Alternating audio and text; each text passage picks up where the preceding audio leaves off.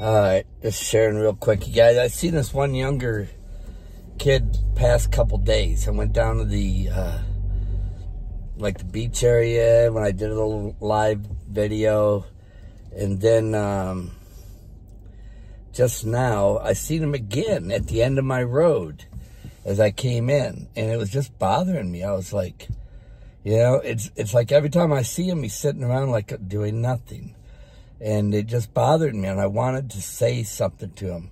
I wanted to witness to him. So what I did was uh, I just, you know, just left from down there to talk to him. And uh, sadly, I wasn't able to talk to him because he was deaf. He can't hear, but I believe he could see. I asked him if he could read, and I gave him a few things for reading. And I pointed up in the sky and I said, the Lord's coming? And he, and he went, yes, like he knew it. And uh, gave him a little card too, a gift card. And uh, then, you he just kind of tried to say thanks. And then he smiled and waved like he knew, you know. I mean, yeah, I wish I could have talked more, you know. And, uh, but I see him out there sometimes, you know. I've been living here since 2018 and uh, I asked, first I thought, I said, did Cynthia talk to you? And he's like, you know, deaf. Now, if Cynthia had to talk to him, she would have told me he was deaf. And, uh, and I don't believe she had. But anyhow, um, I'll let her know. Anyhow, when I see her, to let her know. Because I've seen him a couple times, and I've seen him at the end of our road not this road, but before you get out to the main road. Uh, so I know, I think he lives someplace around here. I just don't know. And he's maybe 17, maybe. You know, could be 16, could be 17 in that area. And, uh, you know, and then being deaf, you know. Know, especially in these times, you know. But uh, anyhow, he's yeah, he looked at me like he knows, and that's good. That's good. You know. Anyhow, what a time, huh? See these times coming right now, and uh,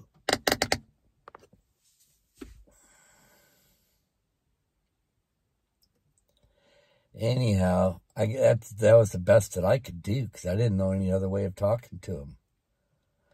You know, and I tried to just tell him slowly, hope hoping he could maybe read lips. You know, that the Lord is coming. You know, and gave him a like a little Bible thing at thing like to read. and a little card where you can go get a sandwich. You know, but like I said, you know, he said he knows, you know, so I feel better anyhow. Like I said, I came into the place, fixed lunch, and it was just bothering me because I seen him the other day down there by the river where everybody, the beach, where the beach is like. I seen him sitting there like he was just lonely by himself. And I was doing the live video and I didn't say anything and then I ended up leaving. Then I seen him again today at the end of the road, and I'm going, I got to talk to him. You know, I've seen him twice now, and uh, he's been by himself. And we'll see. We will see. All right, you guys, stay strong, stay bold in the name of our Lord and Savior, Jesus Christ. We got several dogs around here, man. They just kind of...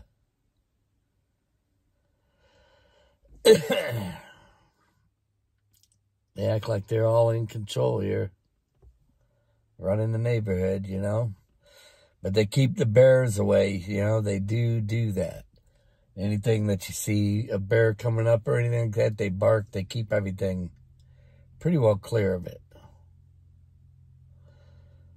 And, uh we got a few bears around here. There's no doubt about it. I haven't seen one yet, but Cynthia has. And when Cynthia seen it, she, she put a big old billboard sign out here in front of the mailbox going, there's a bear in this area, you know. Caution, there's a bear. Yeah, I know there's bears out here. I've never seen one, but she has. And our neighbor over here told me there's one back here someplace and another one over here someplace. In other words, they're around here. So these dogs do serve a purpose. We just, you know, we got to have, you know, if they're going to have dogs around, they just got to get along. You know, I mean, because they all run around. You don't want a dog running around that's just mean, you know. And that's why a lot of people, they, uh, they try to give treats to some of these animals. You know, they'll give little treats to them, just try to keep them friendly. Anyhow, be strong, you guys. God bless everybody. In Jesus Christ, our Lord and our Savior. And uh, things are going to start happening, man, in ways most people ain't ready for it. You know, things are going to start happening where uh, it's, you know, it's going to happen suddenly. You know, a madness, like a drunk, you know, like, you know, dealing with somebody that's drunk. They've been drinking the, the wine of madness. You know, that's what they've done. They don't realize when you turn away from the Lord, um, you're going to be stricken with madness. You know? All right, you guys. God bless everybody in Jesus Christ, our Lord and Savior.